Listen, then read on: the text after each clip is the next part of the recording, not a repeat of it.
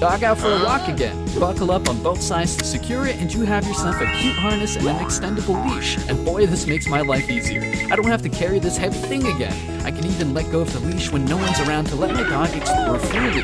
I can use the safety handle too in case of an emergency.